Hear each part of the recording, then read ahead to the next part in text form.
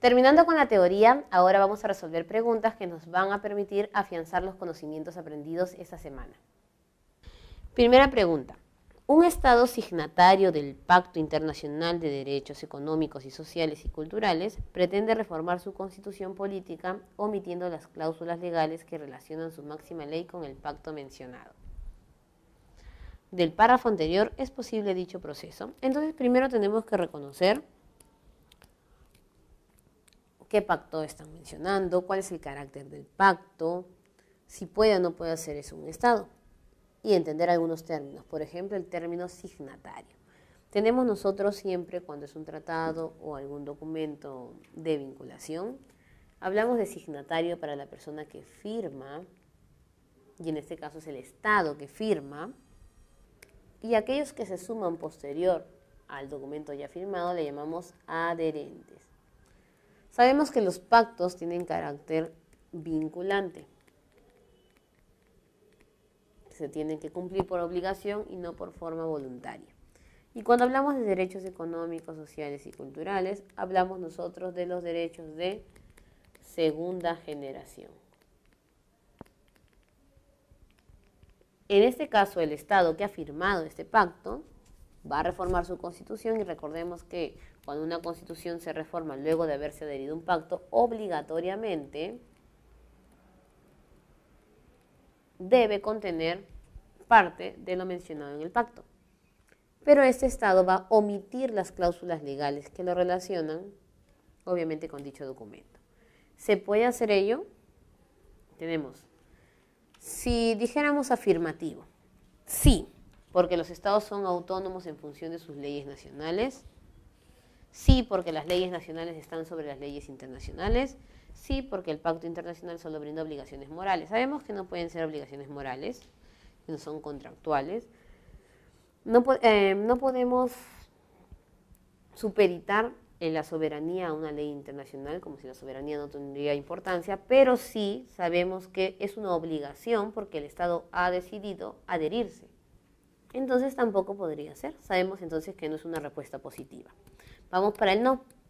No porque este pacto internacional es vinculante y de estricto cumplimiento, y no porque el signatario tiene la imposibilidad de modificación constitucional. Y sabemos que un pacto obviamente no va a transgredir nuestra soberanía y podemos cambiar nuestra constitución. Por lo tanto, nos quedamos con la letra B. Agentes policiales distritales de un Estado americano detuvieron a una mujer sin una orden judicial. Por esta razón, ella realizó la denuncia respectiva ante un organismo internacional identifique los enunciados correctos sobre dicho caso. A ver, agentes policiales distritales de un estado americano, entonces ya nos están restringiendo la jurisdicción, detuvieron a una mujer sin orden judicial. Obviamente que no se está dando el debido proceso. Y ella denunció al organismo internacional. A ver, verifiquemos si es correcto lo que hace la mujer, si es correcto lo que hacen los agentes, qué va a proceder después. La mujer acudió directamente a la Corte Interamericana de Derechos Humanos para realizar la denuncia. Y sabemos que esto es verdadero o falso. Falso. Porque nosotros a donde tenemos que acudir primero es a la comisión, porque somos personas naturales. Los agentes demandados serán del Estado americano donde se transgredieron sus derechos, por supuesto, porque esos agentes van a, le pertenecen al Estado y obviamente dentro de tal también el Estado es demandado. La mujer debió agotar todas las instancias judiciales dentro de su país antes de acudir, por supuesto, porque puede ser que haya llevado la denuncia y sea denegada, porque no ha terminado el proceso correcto dentro de su país. La denuncia respectiva fue recepcionada por la Comisión Interamericana de Derechos Humanos, sí, porque ya lo habíamos mencionado. Nos quedamos entonces con la letra E. 3. Algunos países centroamericanos no solo se ven expuestos a problemas económicos, sino además la crisis política donde la falta de elecciones, la represión del gobierno, la discriminación de las masas, la ausencia de libertades y la falta del Estado en la solución de los conflictos son noticia de cada día. Entonces, frente a lo mencionado, nos damos cuenta que es un país o son países en los cuales no solamente tenemos problemas de satisfacción de necesidades básicas, sino además la democracia no está bien llevada y se están dando violaciones a los derechos humanos. Vamos a determinar qué enunciados son verdaderos y cuáles no. La activación de la Carta Democrática Interamericana aportaría positivamente en dichos países, por supuesto, porque quiere recuperar la democracia, no destruir la soberanía del país. El compromiso de los gobernantes para fortalecer la democracia y los derechos humanos debe darse o no debe darse. También, porque al activarse la carta se va a obligar a que los gobernantes estén comprometidos con dicha acción, si no, no tendría norte la dirección democrática.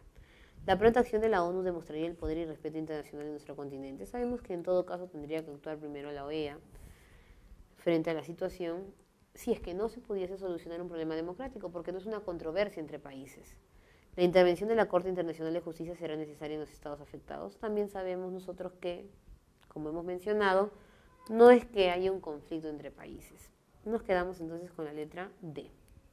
Y tenemos una pregunta sencilla de lo último que hemos aprendido. Elija la alternativa que relacione el organismo que promueve los derechos humanos con el caso vinculado a su respectiva función. La Asociación Peruana de Consumidores y Usuarios, ASPEC, la Asociación Negra de Defensa y Promoción de los Derechos Humanos, ASONED, Amnistía Internacional y el Movimiento Manuela Ramos. La primera tiene que ver con servicios básicos, la segunda contra el racismo, amnistía en función de todo tipo de derechos humanos y Manuela Ramos con la protección a la mujer. Desarrolla programas para superar la marginación que sufren las comunidades afrodescendientes. Entonces, como hablamos de comunidad afrodescendiente, hablamos también, obviamente, de problemas de racismo y estaríamos nosotros relacionándolo con la letra, el número 2, perdón. Sostiene, vamos a ponerle otro color para que se pueda reconocer, sostiene que Ocitel no se encuentra en la capacidad para supervisar una empresa de telefonía. Estamos hablando de servicios básicos, ASPEC.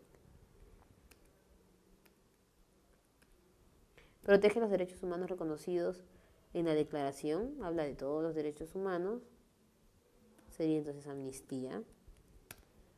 Luego tenemos nosotros, revela la brecha económica entre varones y mujeres para poder proteger los derechos de la mujer sería Movimiento Manuela Ramos y nos quedaríamos nosotros con la letra E.